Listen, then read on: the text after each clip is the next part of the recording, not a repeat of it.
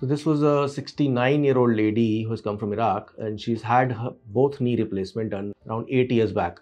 So after the surgery she was doing pretty okay for a few years but then later on she started having problems in her left knee in the sense that she started having pain while while getting up from the chair while walking so it had come to a point that she was not able to walk more than 5 to 10 minutes at a go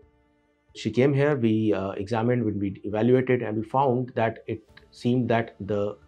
implant component on the left side that had become loose and that was the cause of her pain so let's have a look at uh, what constitutes a total knee replacement and what are the implant components so these are two uh, main components which this one is the one which goes at the top called the femoral component. This one at the bottom go, called the tibial component and in between is this special plastic part, the polyethylene.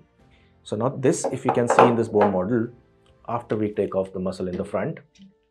is how a knee looks like after a knee replacement.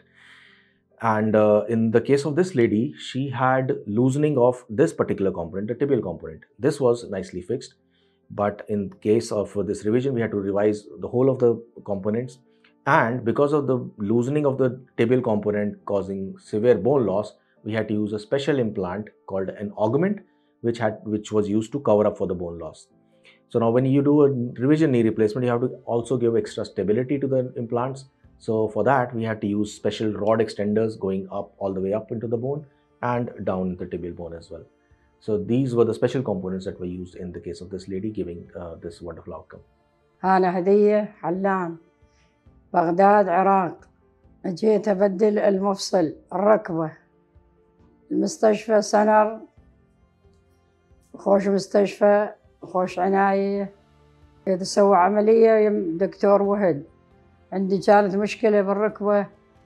وهسه العملية نجحت الدكتور خوش دكتور والخدمة زينة والحمد لله الخدمة خوش خدمة خدمة السنار She's walking comfortably as many times as she walks. She uses walker, but in uh, due course, she'll uh, be walking independently as well. Her knee movements and uh, knee bending are very, very good as of now. And we hope and wish for her speedy recovery. Thank you.